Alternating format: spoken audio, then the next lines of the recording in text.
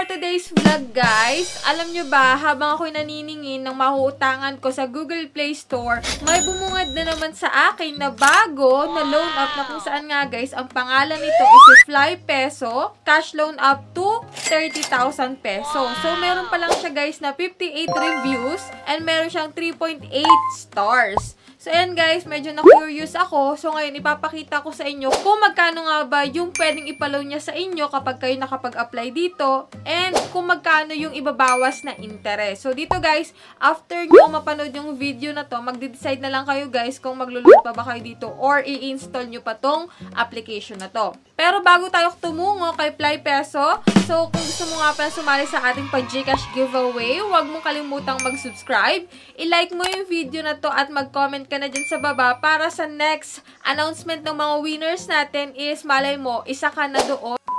Ayan guys, kapag interesado ka na malaman kung anong meron dito kay Fly Peso na bagong-bago nga sa Google Play Store, stay tuned and keep on watching.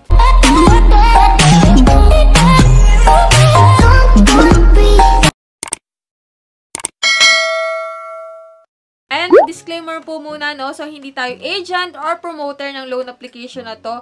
So, dito guys, itatry pa lang natin siya. So, bali, ngayon pa nga lang tayo mag-a-apply para mapakita sa inyo kung magkano yung pwede nyo maloan dito at kung magkano yung ibabawas at kung magkano na lang talaga yung marireceive mo. Ito guys, yung Fly Peso is under ng New Fly Lending Corporation. Ayan guys, dahil nga bago ito, so itong Fly Peso na to, so hindi ito yung kasama doon sa pinapasara na anim na loan company ni SEC, no? So, yan guys, bagong-bago siya. So, Pagka-install mo guys, meron ditong lalabas na magre-register ka using your active mobile number and then doon magsisend ng verification code. And ito nga guys, lumalabas dito na 30,000 pesos yung maximum credit available kapag nag-apply ka kay Fly Peso. So ito nga guys, credit loan 20,000 pesos, housing loan is 20,000 pesos. Pero nakalak pa siya dito guys. So dito, tatry muna nating mag-apply dito sa 30,000 na maximum credit available na pinapalo ni Fly Peso, no? Personal credit loan ito. Ito guys, mag-fill uh, up ka dito ng iyong basic information.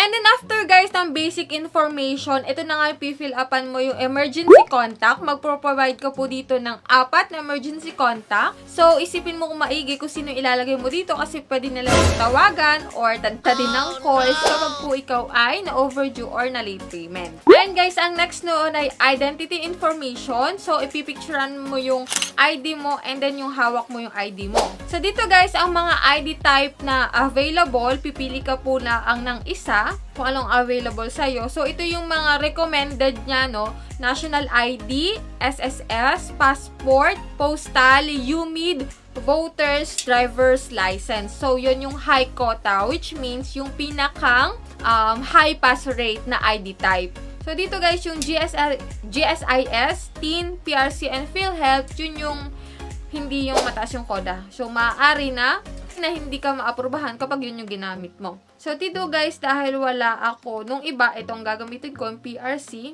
After guys, nung ID, is ito na nga yung pipili ka dito ng payment method, kung saan mo pwedeng ma-receive yung pera, which is a GCash, Paymaya, StarPay, RD Pawn Shop, kung gusto mo ng cash pickup, Coins.ph, GrabPay, Amloholier, and pwede sa bangko. So, ang mga transfer fees dito is iba-iba. Kung ikaw ay Amloholier, mas mataas yung transfer fee, which is 130 pesos pati sa RD Shop. So, sa mga online payment is 25 pesos lang yung transfer fee. So, pipiling ko dito guys is GCash. So, ayan nga guys, di ba kanina 30,000 yung pinakang maximum credit available sa aking account. Pero, nung nag-apply nga ako dito at nag-submit na ako ng loan application, ang pwede ko na daw mahiram is 2,000 pesos. Ito nga daw is 150 days, pero Huwag kayong padadala dito sa 150 days na ito kasi kalimitan dito is 7 days lang. Yan. So, dito guys, I have read. Check mo lang yan guys. Kasi wala ditong naka-indicate na loan statement kung magkano yung ibinabawas sa interest, no? Kung magkano yung marireceive mo doon sa 2,000, kung buo mo ba makukuha. Kaya dito guys, in-next natin, malay mo, maipakita nila, no? So,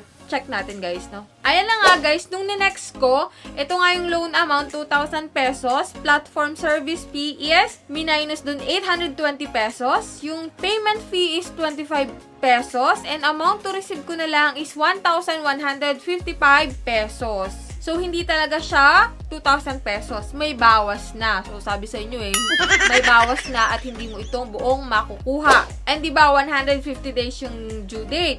Pero ang nakalagay dito, repayment schedule is July 25. So, may ilang, may 7 days lang ako para bayaran ko itong 2,000 pesos na ito. So, yan. Submit the loan kapag gusto mo. So, kayo na lang talaga mag-decide kung iti-take nyo itong Fly Peso, na, na which is 2,000 pesos yung loan amount, and then 1,155 laang yung marireceive mo.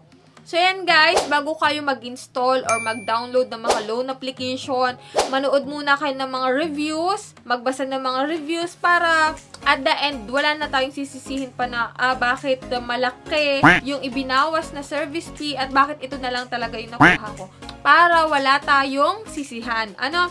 Yan guys, kung wala din kayong inaasahang pambayad sa mga loan application na to, sa itinakdang araw or sa due date, wag na lang din tayong umutang. Kasi pag na due date tayo at wala tayong pambayad, tataas po araw-araw yung interest noon at mas lalong lalaki yung ating babayaran. Lo, lalo tayong mai stress lalo't wala tayong inaasahan ng pambayad. So yan guys, kung may mga katanungan pa kayo about dito kay Fly Peso or sa iba pang loan application na na-feature ko sa aking channel, chat nyo lang dyan or comment nyo lang dyan sa comment section. At kung hindi ka pa po nakasubscribe, is click mo na yung subscribe button at hit mo na rin notification bell para updated ka sa mga susunod pa nating video. So, bye-bye na muna guys for now.